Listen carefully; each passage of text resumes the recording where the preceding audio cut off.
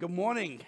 Uh, good morning, church. Uh, before I begin my sermon this morning, I want to thank everyone who has reached out to us uh, via uh, phone calls, text messages, uh, emails. Uh, our family is doing well. We are still in quarantine. the kids, Kristen and I, all tested negative for COVID 19. We went to, into quarantine because Samira tested positive. she seems to be doing okay. Tomorrow, um, uh, she's going to be coming out of quarantine. Uh, I honestly think she's living her best life. Unlimited tech time, uh, room service where food is brought to her, and no annoying siblings around her. So uh, I don't know if she's ever going to leave her room or not. Uh, let us pray. God, we come before your presence with thanksgiving for all that you have done for us. God, may the words of my mouth and the meditations of our heart be acceptable to you, our God and King. Amen. What is your identity? How do you define yourself? Uh, my uh, driver's license fell down here. Uh, so this is my driver's license. I kind of kind of defines who I am. It tells me that I'm 5'8". I have black eyes. I'm an organ donor, uh, and I live in Aston, Pennsylvania. But there's more to it, more to what is written on this uh, little plastic uh, piece um, that, is, that defines myself. How do you introduce yourself? Is it based on your role? Do you say, I'm an engineer, I'm a pastor, I'm a teacher, I'm a social worker, I'm a doctor, I'm a banker? Or do you identify yourself based on your relationships? I'm a father, I'm a brother, I'm a husband, a wife, a sister? How do you do that? Or do you identify yourself based on your accomplishments? I have earned this. I have all this. Or is it based on your political affiliations? Or is it based on your hobbies? The question that I'm posing to you this morning is uh, what happens when you're no longer are an engineer? What happens to you when, you when there's a shift in the relationship as to how you describe yourself. How, what happens when you no longer follow a certain political party or participate in a certain hobby? What happens then? See, I see these shifts not only as individuals, but these shifts are happening for us as a community and a nation as well. So, who are we, church? Who are we? The reality is the norm is no longer the norm. I cannot leave my house till January 22nd. Those who know me know to me know that I'm a busybody. I like to be all over the place. I like to meet with people and I like to go places. So what is my identity today? What is our church's identity? How do we introduce someone new to our church? How do we describe our church? This past Christmas season, I had an identity crisis of my own with regards to the church. It was like any other ones before. I told everyone, everyone who was on staff here, not to advertise our Christmas Eve worship services. On our Facebook page, Delco Times, on the sign that's outside here on Concord Road. I told everybody, I actually wrote emails, please do not advertise Christmas Eve worship services. And then I said these words I don't want many people coming to our church on Christmas Eve. Seriously, I made those statements. For the 5 p.m. Uh, 5:30 p.m. service on Christmas Eve, we hit about 50 people who were registered, who checked in, and my blood pressure was going off the roof. And I vividly remember, remember praying, standing in this same sanctuary space as the worship service was about to start. My prayer went this way God, please, please don't send any more people to our sanctuary. Right? I think that was the first time I ever prayed in my life where I asked God not to send people to church on Christmas Eve. So, what is our identity as a church? Who are we as Mount Hope Church? What is our thesis statement, our mission statement? Why is it that we exist? This is a question for us to wrestle with. And when we have difficult questions, we go to the scriptures. We turn to the scriptures. And I think Jesus answers this question very clearly and simply. And I want to put the story in context, what was read to us from Luke chapter 4. Uh, this, Luke chapter 4, is the first public action of Jesus. Jesus, this is the first thing that Jesus does before he starts his public ministry. And Jesus, uh, so just to kind of catch you up so far as to where we are in the story, prior to in Luke chapter 3, we saw the baptism and the genealogy of Jesus. And when Jesus was baptized, there was a voice from heaven, God declaring, This is my son with whom I am well pleased. We hear those words. And then Jesus is taken away into the wilderness where he is tempted for three, he is tempted there are three temptations that Jesus faces. And all these three temptations, Jesus conquers them by standing on the Word of God, by the promises that were given in the Old Testament. So that is where we end chapter 3, and now we are into chapter 4, where Jesus is about to start his public ministry. Jesus is about to start his public ministry, and he walks into the synagogue. One of the things that I want to make sure that you that we are aware of there is, has been a shift in how the Jewish people worship when the Old Testament ended and the New Testament opened. There, those years in between are called intertestamental periods. A lot of things happened in how Jewish people started to see God and view God and worship God. And one of the ways they started worshiping God is they started worshiping God in the synagogues. And the reason for that is because the Jewish people were dispersed all over the known world and the temple was destroyed. So they started a place called a synagogue where a bunch of them would gather together on, on the Sabbath and they worshiped God. And Jews to this day worship in the synagogue. And actually, a lot of what we do as a church, the reason I'm standing here and preaching this morning is because this tradition comes from the synagogue. This is what people in the synagogue did, and the church adopted these practices from the synagogue when the early church started, and to this day, we follow the same things that were happening in the synagogue. So Jesus walks into the synagogue and he picks up the scroll and he reads from Isaiah chapter 61, verses 1 and 2, and Isaiah 58, 6. And the scripture that he reads is simple, but I want to focus on what Jesus tells us after reading the scripture. This is what Jesus reads to those that show up on that day to worship God in the synagogue.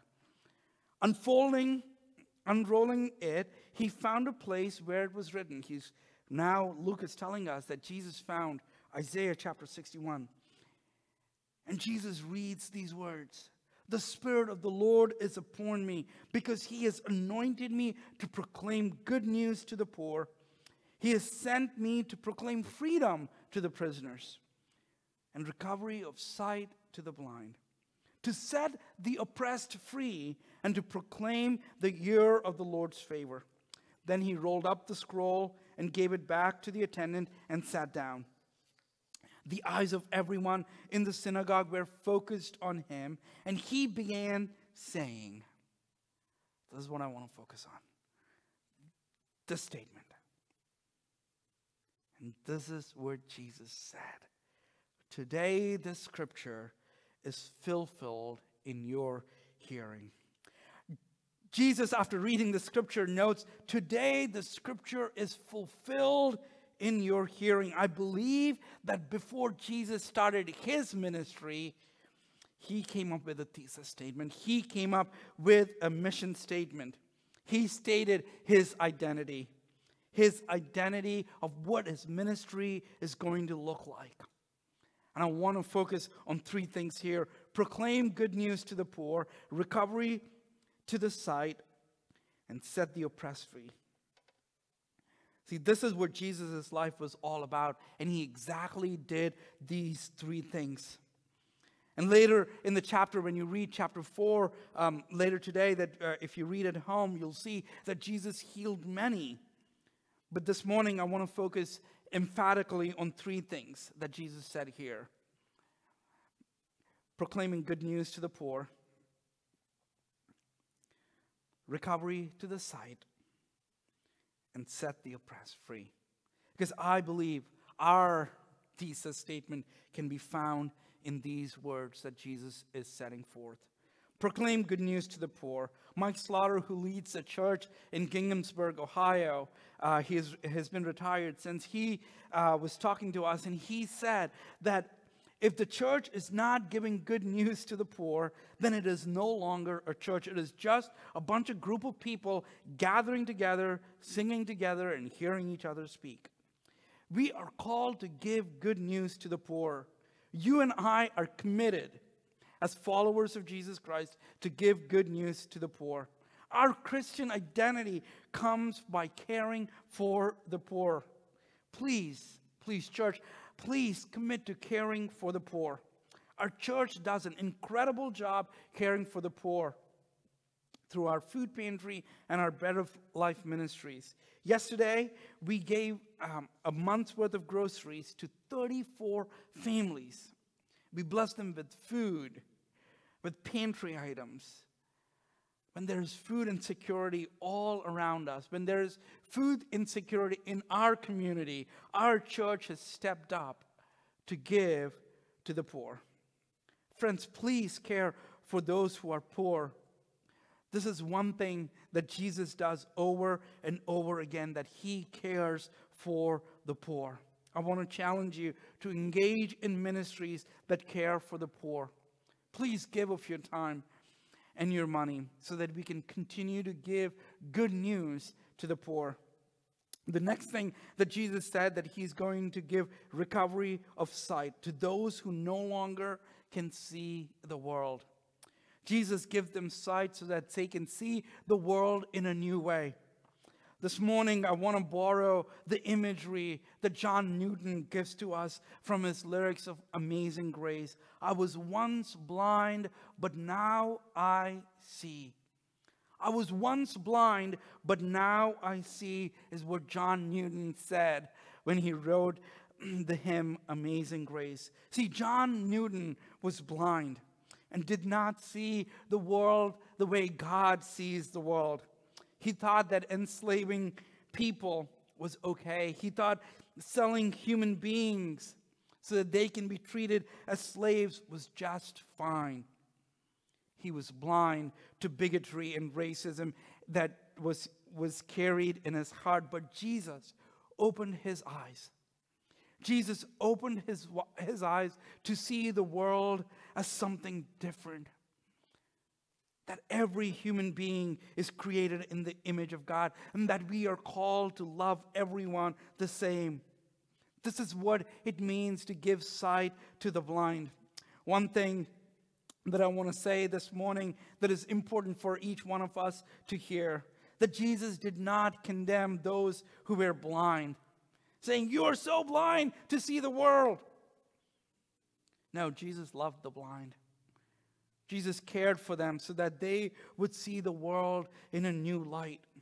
Friends, we are called to do the same as well. We are called towards working towards dismantling racism, seeing the world as Christ sees it. Friends, this is important and crucial work as Christians. We as a church need to be committed to this work. Finally, Jesus tells those who are gathered that day that he has come to set the oppressed free. I love that Jesus has come into my life so that I can have life and life more abundantly.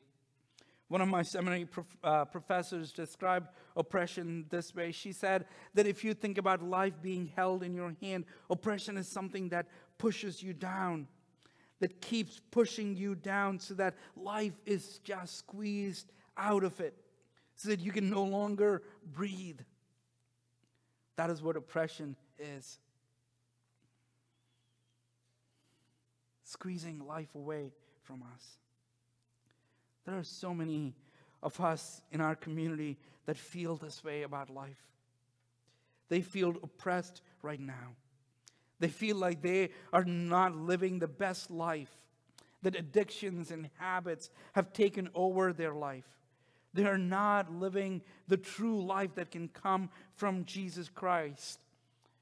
And Jesus tells us that He has come to give life and life more abundantly. And you and I are called to live that life of abundance as an example.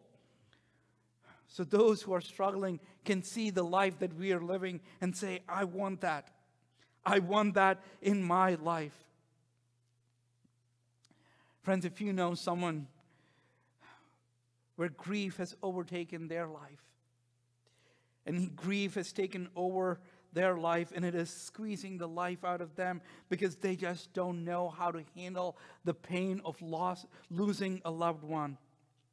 Please let them know that Mount Hope UMC is a place where grieving families and individuals can come together to process their loss of a loved one and find a way to move forward. We as a church are committed to giving life to those who are struggling with challenges, with those who are struggling with addictions, with alcohol addiction. We have created a place where those who are in recovery can come each week and call this home. This is what we are called to do as a church. This is who we are as a church. Our identity is about caring for the poor in our community, giving them good news. It is about providing sight to the blind, actively working towards dismantling racism, and finally giving life to those whom life is being squished away. Friends, that is our identity as a church. I hope and pray that you would be a channel in living out these three things that Christ has shown us to do. Let us pray. O God of grace, uh, we ask that you would give us strength, that you would give us courage, that you would give us the right words, so that we can proclaim good news to the poor with our time, with our resources, so that we can give sight to the blind by the way we live, by the way we talk. And God, we pray that you would give us the grace so that we can give life and life more abundantly to those who are struggling this day. We ask all these things in your name. Amen.